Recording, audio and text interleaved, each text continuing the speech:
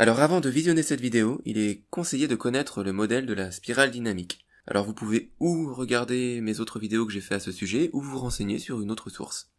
Dans ce podcast, je vais simplement énoncer une série de concepts positionnés par niveau d'existence afin de faciliter la compréhension de ce modèle qui est à la fois extrêmement simple et extrêmement complexe à comprendre. Alors on va commencer avec quelques concepts qui émergent dans le niveau violet. La tribu, le clan, les esprits, l'homme ou la femme médecine, l'homme ou la femme sage, les anciens, le conseil des anciens, être banni, une conception cyclique du temps, les traditions, les rituels, les tabous, les coutumes, les cérémonies, le campement ou le village comme espace consacré, la mémoire des ancêtres, l'esprit des ancêtres, l'homme ou la femme médiateur du monde des esprits, qu'on appelle en Occident le chaman.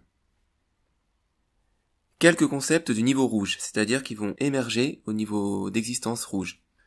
Le guerrier, c'est-à-dire celui dont le métier est de faire la guerre, la loyauté, l'honneur, la honte, la trahison, le déshonneur, le châtiment, le maître, l'esclave, la guerre, le pillage, la conquête, le butin, la gloire, le héros, l'épopée, la torture, le triomphe, le frère de sang, le tribut, l'allégeance, la soumission, la vengeance, la vendetta, les dieux guerriers, et une utopie du niveau rouge est très bien représentée par le mythe du Valhalla chez les vikings, donc dans le mythe du Valhalla, le brave qui meurt l'arme à la main peut entrer au Valhalla et il peut festoyer et copuler toute la journée avec de très belles femmes, et ensuite, le soir, il part se battre, et il meurt.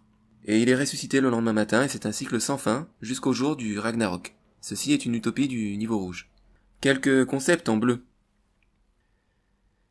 Les lois, la morale, la culpabilité, le péché, le parjure, l'expiation des fautes, le pardon, le jugement des âmes, le bien et le mal, les castes, les ordres, la hiérarchie, le blasphème, l'hérétique, le juste, le pieux, la dévotion, le patriotisme, le nationalisme, le tribunal, l'école, l'administration, le pouvoir central, le karma, la rédemption, les représentants du pouvoir, l'impôt, les administrateurs, la police, le service militaire, la vérité absolue et universelle, le concept de djihad, de croisade ou de guerre sainte, le fait d'imposer une vérité absolue, les missionnaires, l'humilité, le détachement, le stoïcisme, réprimer ses pulsions, la pureté, l'impureté.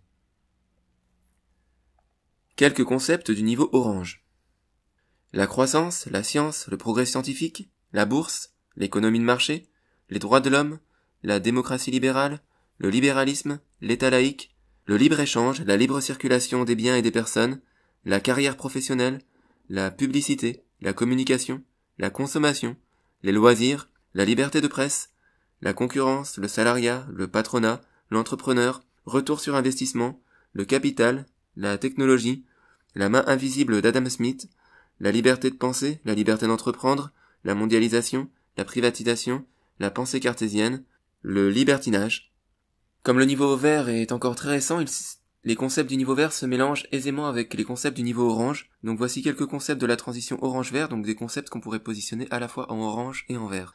L'économie solidaire, le covoiturage, le coworking, une colocation, une biocop, un éco-festival, le développement durable.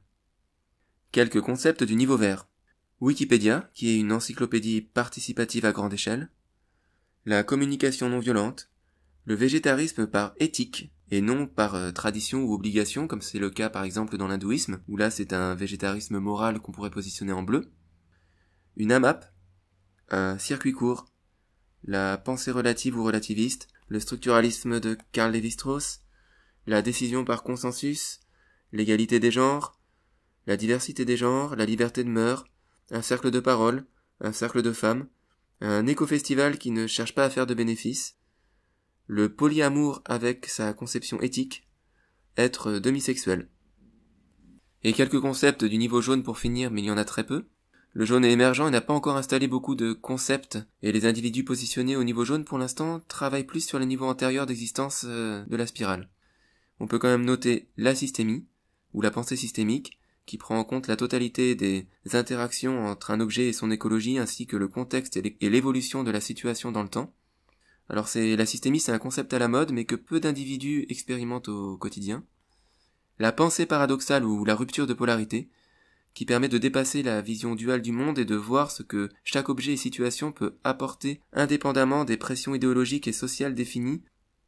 On a aussi le modèle de sociocratie de Gerard Enderberg, qui est une forme de management participatif équitable et efficace, subdivisé par cercle en fonction des domaines de compétences de chacun et qui définit les objectifs à atteindre dans un mode qui, qui est à la fois participatif mais qui ne perd pas son temps à chercher le consensus sur chaque sujet.